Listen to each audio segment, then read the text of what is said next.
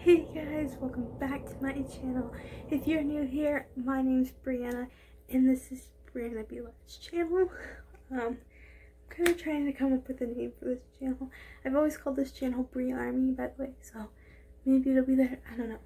Find a name that's kind of cool and suiting for this channel. Today's video is January's recap and February's recap. And I think 2020 for me has been a whole year, new year of discovering me and figuring out who I truly am. So let's roll into the video. Hey, hey, blow up. Blow. I don't even. So actually, on January 1st, we celebrated my grandpa's birthday. My grandpa actually turned 74, I believe. And we all went out to dinner at this like little, like, like kind of like logging house. Um, and it was really good and I had a really good time because my grandpa is obviously my number one reason why I am here and um, he inspires me to be amazing at what I do and I love him to death. So just to be able to share his birthday with him was amazing and yeah, that was really cool. I also went and saw Stomp. If you guys do not know what Stomp is, I recommend going to see it. It's always at the Macomb Center, maybe every two years or every other year. And we've gone and seen it uh, 2017 and then 2020. Um, why I recommend going is I love it. I love every time I've went and I think it's a new unique different way if you're into band, choir, music. I think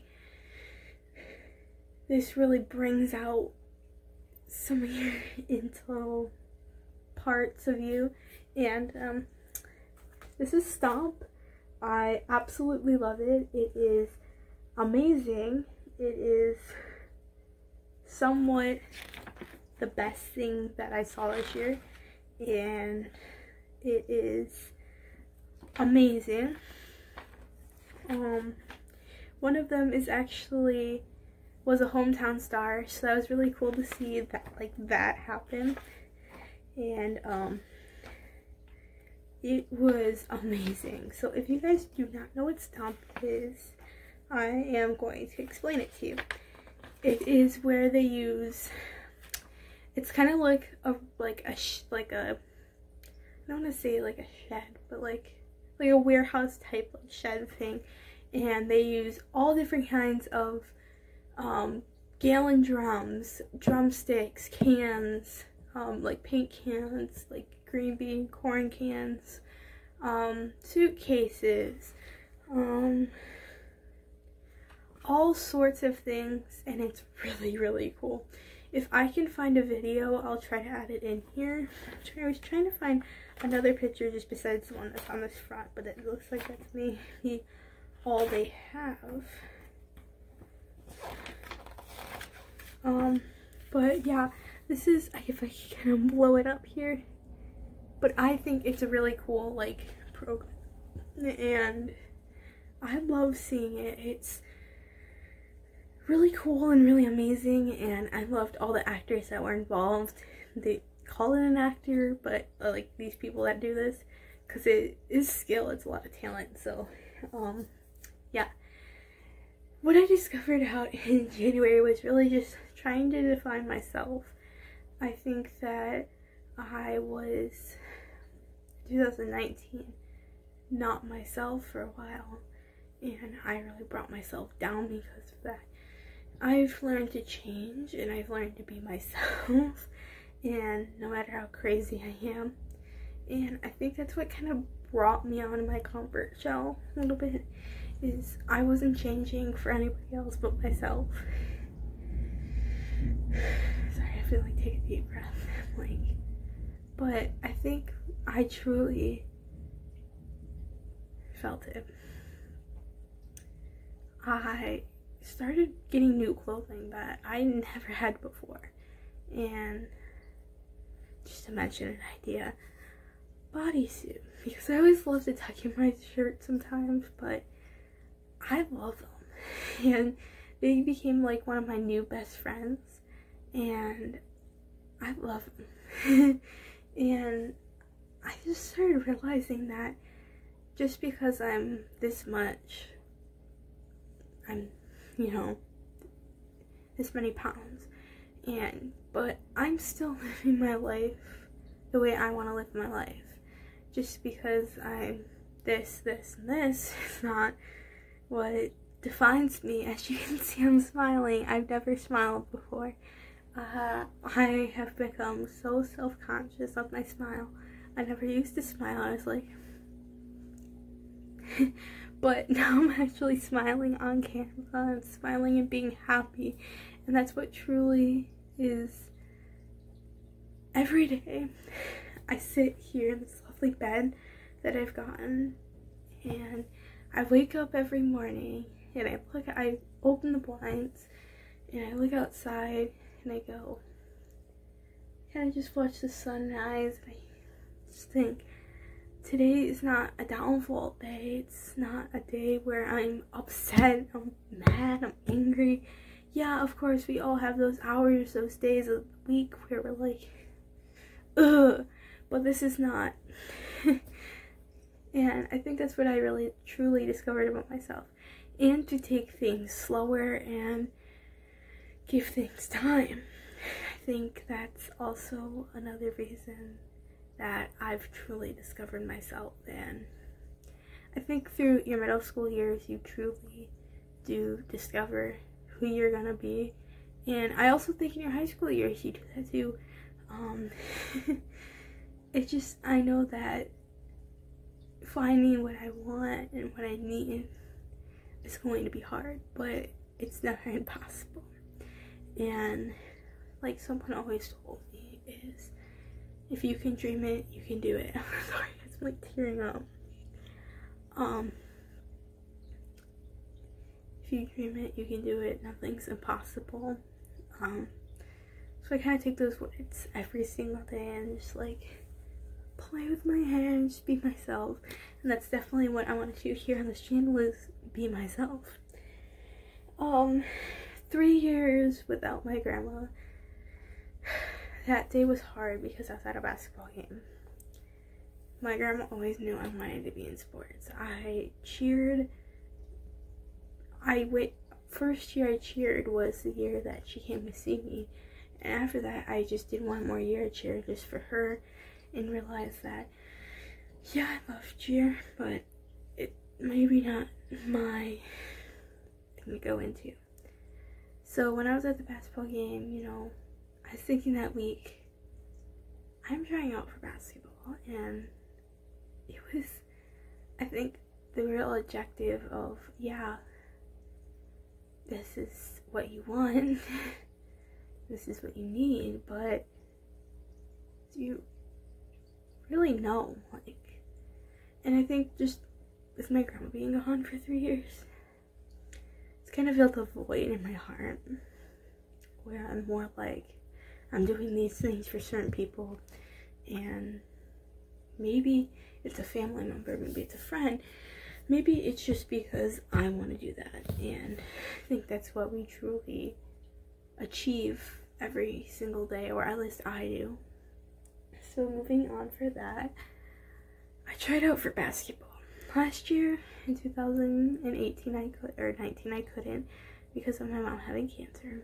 So I was very down about that because I was like, you know, basketball was something that I loved and I do love it. I still love it.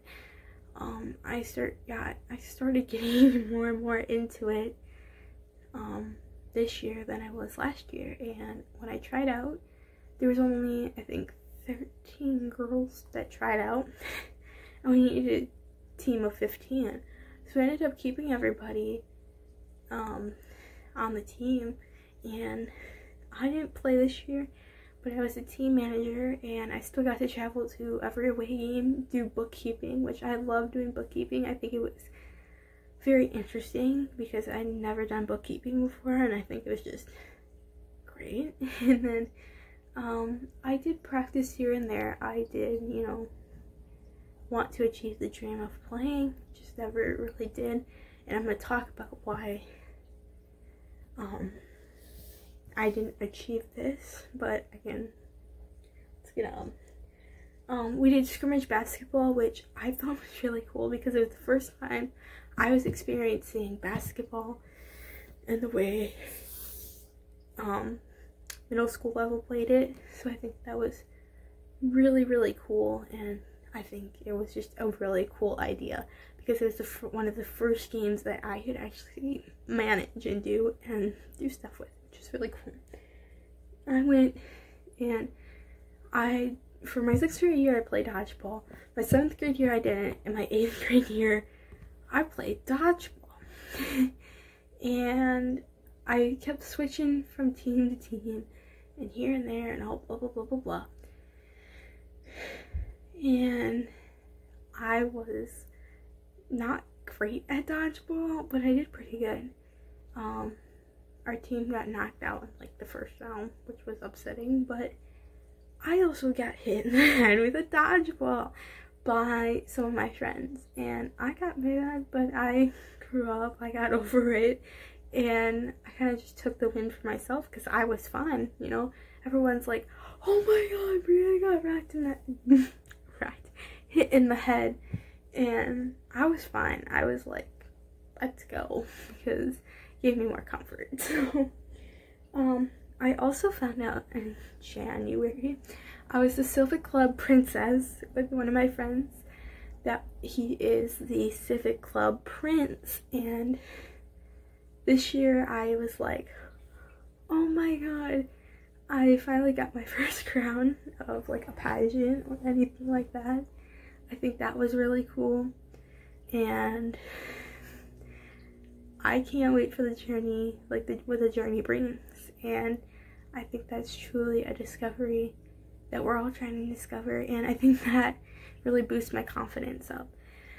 I was at Winterfest on Friday on that Friday and I was on TV. I'll put in a clip here. I was actually on TV and Carolyn Clifford from Channel 7 shouted me out. Thank you Carolyn Clifford. I love you. Um I was shouted out on TV um it was a dream come true i went home and i like watched it and i didn't think i was gonna make it on tv but i did and it was a great feeling knowing that and i shake it off every day thinking you know wow i'm really doing something with my life. I'm really passionate about going through the community and helping out the community because i feel like in new baltimore where i live is a close connection that this is a very small town and we all come together in a time of healing. And I also got to go to the polar plunge and be recognized. And I was like wave to the fans out there. It was like yeah probably I'm Brianna. Um so that was cool. So the Macomers performed too. I will put in a clip because I have a clip of the Macomers when I saw them. They're amazing. I love them. Even though it was a two hour show, it was still pretty good. I loved it and that was really cool. I also met Carter. Carter is a basketball baseball player and he was just I met him through going to Jimmy John's film and we started talking and we kind of drifted apart but I think meeting him really boosted the confidence level of greatness and helped me. So, you know, it was really great. So, now we're on to February, basketball season.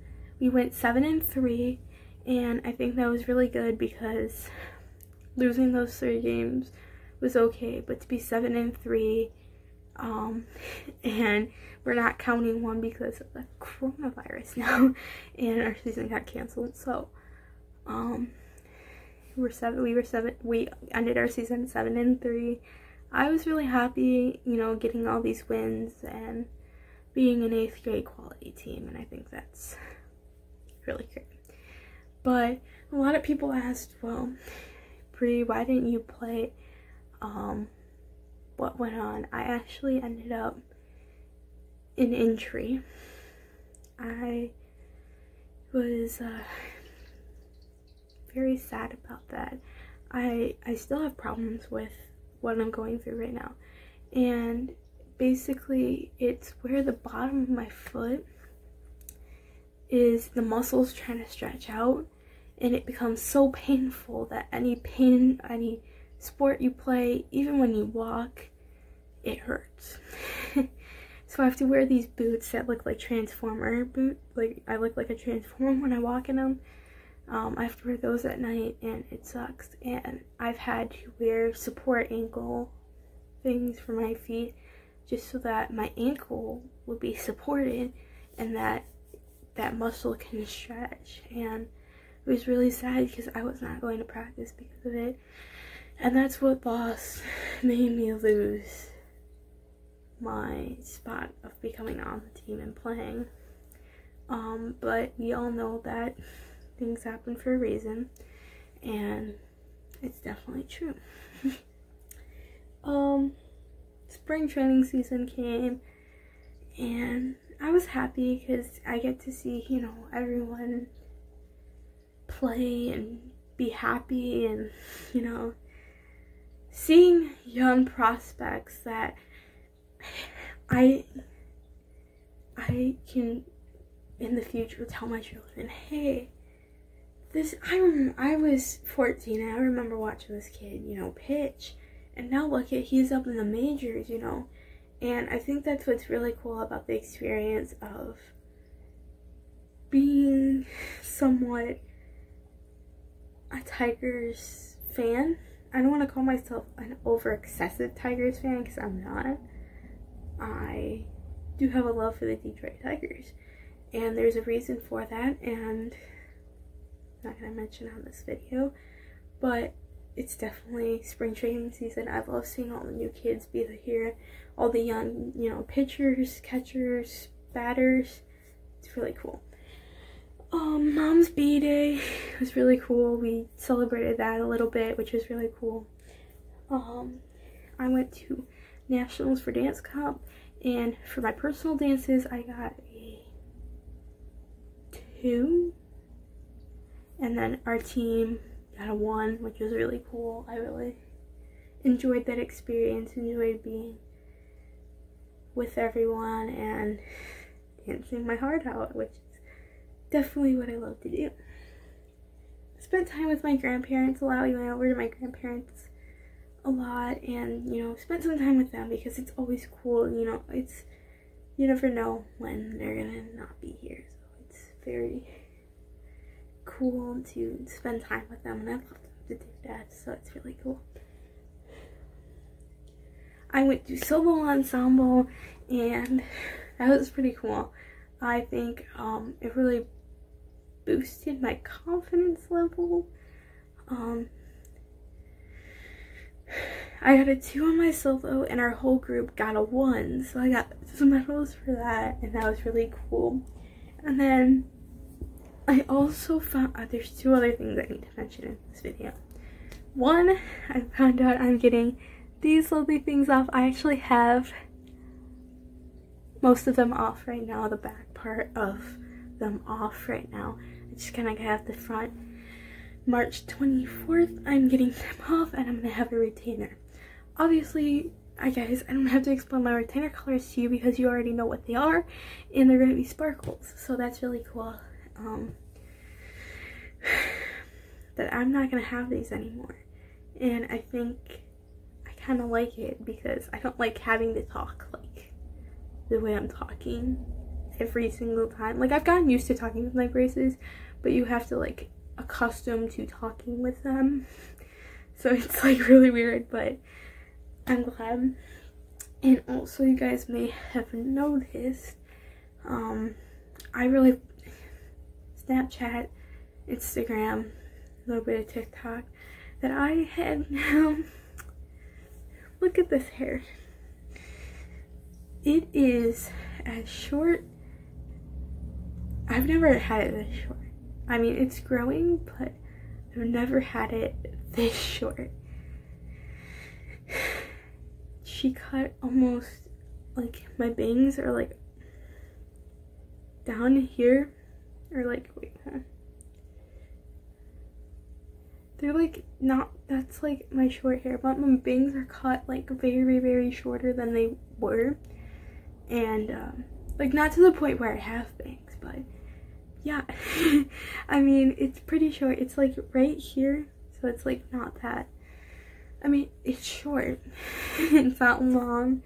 Um and I think that's just really truly a nice personality change. And like to me it's like I like having this type of hairstyle because it's so much easier to keep it in like the style I want to and like do everything with. But yeah um thank you guys for watching my February or my January and February review of the month. And be tuned be, be tuned stay tuned because every month like I said is a new one. And I think that I get to explain my month to you. It like really breaks down like a recap of everything.